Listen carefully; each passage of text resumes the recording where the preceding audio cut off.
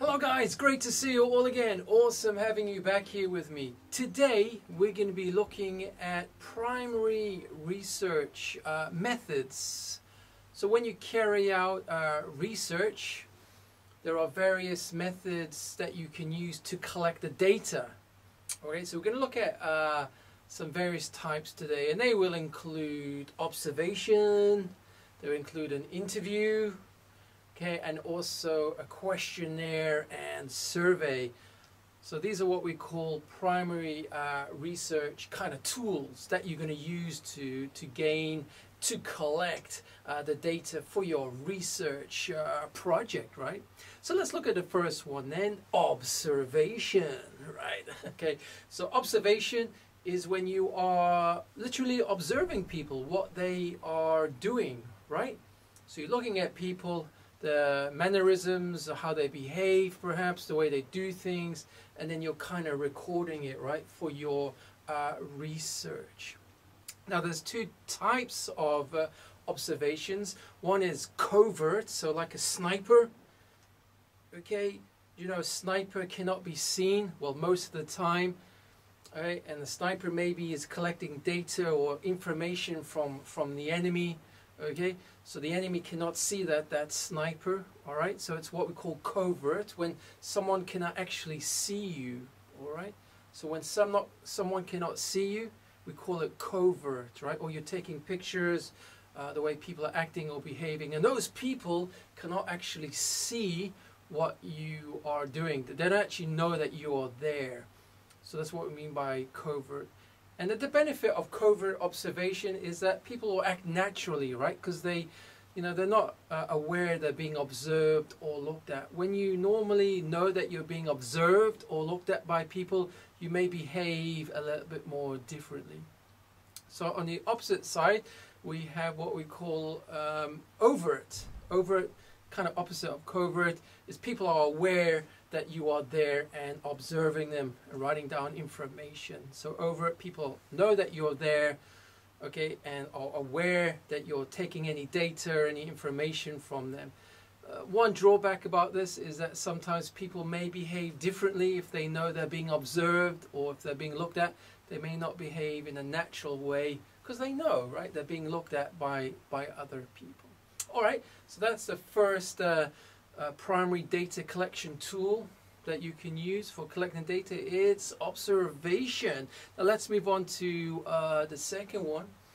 Now the second uh, one is what we would call an interview.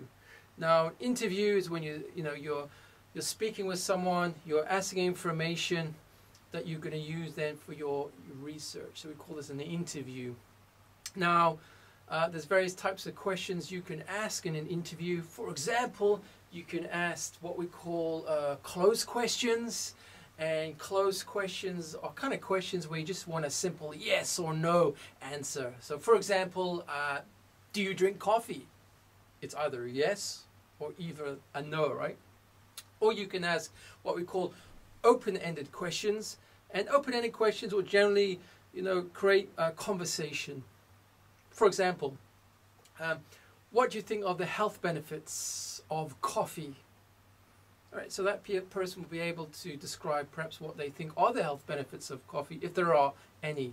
Okay, so generate a bit more conversation. So you can use those two types of question sets, open and also closed questions. When you're interviewing someone face to face, for example, you know, in order to, to get data for your uh, research question. Always a good idea to use both. Don't just use one. I'd always uh, mix and match. Use open-ended and also closed uh, uh questions as well for your uh, interviews. Now the other data collection tool that you can use for your primary research is uh, what we call a questionnaire or, or a survey. And this is most convenient when you have quite a lot of people that you want to get data from and there's various platforms that you can use like SurveyMonkey and also you can use uh, uh, Google uh, Forms as well. You can have a look at the tutorials that will come shortly of how to actually use uh, Google Forms and SurveyMonkey. But this is a good way of getting a lot of data, a lot of information from various participants. There's various uh, ways you can structure the questions. For example, you can use uh, multiple choice kind of questions. Uh, you can use a Likert scale type of questions uh, as well. And you can use open type of questions and also closed uh, questions when you construct and make your uh, questionnaire there. Alright guys, those are some tips that you can use, some tools, uh, some methods there to collect your uh, research, right? To collect your, your data for your research uh, essay. Awesome. Take care and do check uh, the next tutorial which will be a short screencast on how to use Google Forms and SurveyMonkey in constructing a questionnaire. Awesome. Take care and see you soon. But you never reach the end of the road while you're traveling with me.